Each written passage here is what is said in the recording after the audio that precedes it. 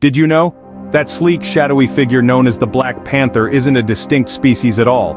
It's actually a melanistic variant of a leopard. Yes, that's right, a black leopard.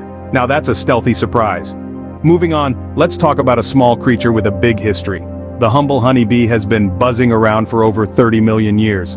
That's older than most mammal species, quite the endurance, wouldn't you say? Lastly we come to the Afghan hound, often labeled as the dumbest dog. But remember, intelligence varies and this label is based on obedience tests. Perhaps they're just too independent to care about fetching balls. Curious for more? Comment below, subscribe, and stay tuned for more intriguing insights.